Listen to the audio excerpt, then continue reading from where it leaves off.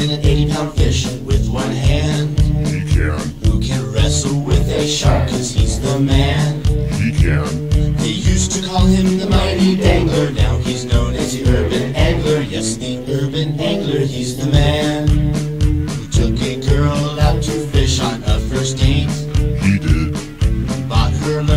Waders Valentine's Day. Did that too. No need for rectification, it's an urban nation. Streams, lakes, and rivers in which I play. Who loves to poach and run from cops is never afraid. He does. Nail your back up and then fish your day. I saw him on the You fence. can jump the razor wire dressed in full fishing attire. Urban angler, yes, the urban angler's great. Solo bitch.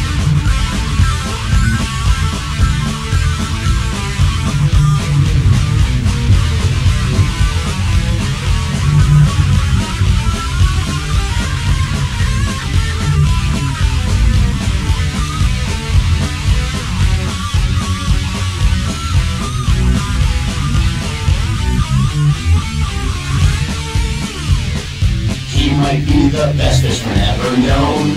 I doubt it.